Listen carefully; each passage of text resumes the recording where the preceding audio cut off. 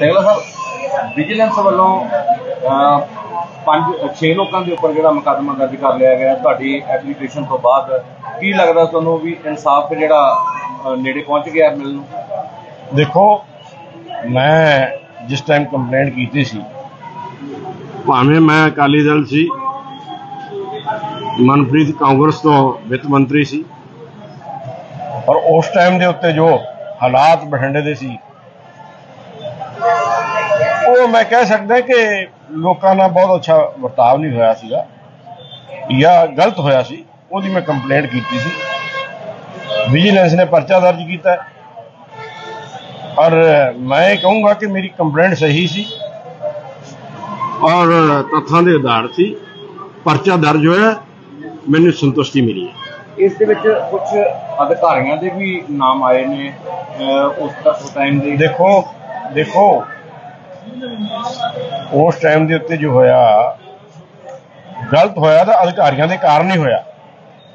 ਔਰ ਜਿਨ੍ਹਾਂ ਨੇ ਵੀ ਕੋਈ ਉਹਦੇ ਵਿੱਚ ਰੋਲ ਅਦਾ ਕੀਤਾ ਹੈ ਉਹ ਸਭ ਕਾਨੂੰਨ ਦੇ ਕਾਨੂੰਨ ਨੇ ਆਪਦਾ ਕੰਮ ਕਰਨਾ ਹੈ ਉਹਦੇ ਜਵਾਬਦੇਹੀ ਹੋਣਗੇ। ਇਸ ਦੇ ਵਿੱਚ ਲੱਗ ਰਿਹਾ ਹੈ ਕਿ ਇਨਸਾਫ ਹੈ ਜਿਹੜਾ ਉਹ ਪ੍ਰੋਪਰ ਮਿਲ ਜੂਗਾ ਜਿਵੇਂ ਤੁਹਾਨੂੰ ਉਮੀਦ ਹੈ? ਸ਼ੁਰੂ ਸ਼ੁਰੂਆਤ ਹੋਈ ਹੈ ਸ਼ੁਰੂਆਤ ਹੋਈ ਹੈ ਇਹੀ ਉਮੀਦ ਕਰਦੇ ਆ ਪੋਜ਼ਿਟਿਵ ਹੋ ਕੇ ਚੱਲਣਾ ਚਾਹੀਦਾ ਇਨਸਾਨ ਨੂੰ। ਮੈਨੂੰ ਉਮੀਦ ਹੈ ਕਿ ਜੋ ਮੈਂ ਕੀਤਾ ਸੀਗਾ ਉਹਦਾ ਰਿਜ਼ਲਟ ਨਿਕਲੇਗਾ ਔਰ ਲੋਕਾਂ ਨੂੰ ਇਨਸਾਫ ਜਿਸ ਤਰ੍ਹਾਂ ਲੱਗ ਜੋ ਪੋਲੀਟੀਕਲ ਸਿਸਟਮ ਸੀ ਕਿਸੇ ਟਾਈਮ ਇਹ ਸੇਵਾ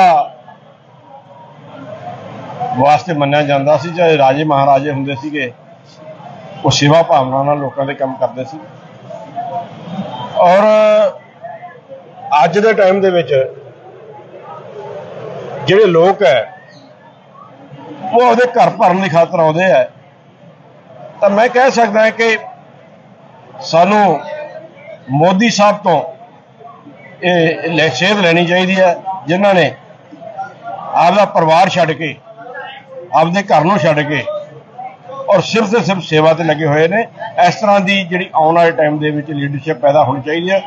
ਔਰ ਜਿਹੜਾ ਜਿਨ੍ਹਾਂ ਨੇ ਗਲਤ ਕੀਤਾ ਹੈ ਜਾਂ ਕਰਪਸ਼ਨ ਕਰ ਰਿਹਾ ਉਹਨਾਂ ਦਾ ਅੰਦਰ ਜਾਣਾ ਜ਼ਰੂਰੀ ਵੀ ਹੈ ਔਰ ਮੈਂ ਕਹਿ ਸਕਦਾ ਕਿ ਕੋਈ ਵੀ ਕਿਸੇ ਦੀ ਡਿਊਟੀ ਤੇ ਹੈ ਉਹਦੀ ਡਿਊਟੀ ਬਣਦੀ ਹੈ ਕਿ ਕਾਨੂੰਨ ਦਾ ਦੇ ਰਾਹੀਂ ਉਹਨਾਂ ਲੋਕਾਂ ਨੂੰ ਨੱਥ ਪਾਈਏ। ਸਿੰਗਲਾ ਸਾਹਿਬ ਜਿਵੇਂ ਤੁਸੀਂ ਇੱਕੋ ਹੀ ਪਾਰਟੀ ਦੇ ਵਿੱਚੋਂ ਹੁਣ ਕਿਉਂਕਿ ਪਹਿਲਾਂ ਆਪੋਜੀਟ ਸੀਗੇ ਇੱਕ ਦੂਜੇ ਦੇ ਹੁਣ ਇੱਕੋ ਹੀ ਪਾਰਟੀ ਤੇ ਹੋ ਕੀ ਤੁਹਾਨੂੰ ਲੱਗਦਾ ਹੈ ਕਿ ਵੀ ਇਸ ਦੇ ਅਹ, ਤੁਹਾਡੇ ਤੇ ਕੋਈ ਕਿਸੇ ਕਿਸਮ ਦਾ ਪ੍ਰੈਸ਼ਰ ਪਾਰਟੀ ਵੱਲੋਂ ਜਾਂ ਕੋਈ ਲੀਡਰ ਵੱਲੋਂ ਜਾਂ ਕੋਈ ਲੋਕਲ ਲੈਵਲ ਦੇ ਉੱਪਰ ਹੋਵੇ ਦੇਖੋ ਅਸੀਂ ਇੱਕੋ ਪਾਰਟੀ ਹੋ ਸਕਦੇ ਹਾਂ।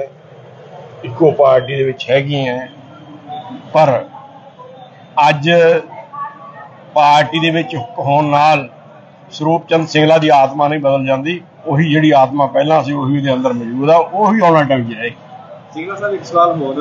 ਇੱਕ ਇਹ ਲਾਇਆ ਜਾ ਰਿਹਾ ਵੀ ਜਿਹੜੇ ਟਕਸਾਲੀ ਭਾਜਪਾ ਜੀ ਨੇ ਉਹ ਰੋਪ ਲਾ ਰਹੇ ਨੇ ਜਿਹੜੇ ਦੂਜੇ ਪਾਰਟੀਆਂ ਦਾ ਹੋਇਆ ਉਹਨਾਂ ਨੂੰ ਵੱਧ ਤਰਜੀਹ ਦਿੱਤੀ ਜਾ ਰਹੀ ਹੈ। ਉਹ ਲੈ ਕੇ ਕੀ ਕਹਿਣਾ ਚਾਹੁੰਦੇ ਨਹੀਂ ਇਹਦੇ ਵਿੱਚ ਮੇਰਾ ਖਿਆਲ ਹੈ ਕੋਈ ਇਸ ਤਰ੍ਹਾਂ ਦੀ ਗੱਲ ਨਹੀਂ ਹੈ।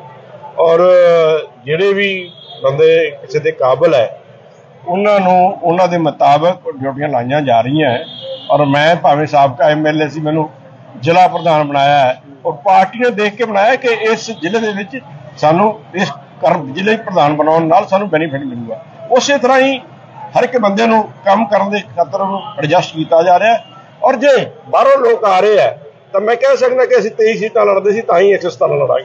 ਜੀ 117 ਤੁਸੀਂ ਗੱਲ ਕਰ ਖਿੱਚੋ ਕੰਮ ਤਾਂ ਫਿਰ ਵੱਧ ਰਹੀ ਆਸ ਵਿੱਚ ਜਿਹੜੀ ਹੈਗੀ ਨਹੀਂ ਉਹ ਕੋਈ ਮੇਰਾ ਖਿਆਲ ਹੈ ਇਦਾਂ ਦੀ ਕੋਈ ਗੱਲ ਨਹੀਂ ਹੈ। ਔਰ ਇੱਕ ਪਰਿਵਾਰਕ ਮਾਮਲਾ ਹੁੰਦਾ ਜੇ ਕਿਸੇ ਨੂੰ ਮਾੜਾ ਮੋਟਾ ਕੋਈ ਲੱਗਦਾ ਹੈ ਤਾਂ ਬੈਠ ਕੇ ਹਾਈ ਕਮਾਂਡ ਨੂੰ ਠੀਕ ਕਰ ਸਕਦੇ। Thank you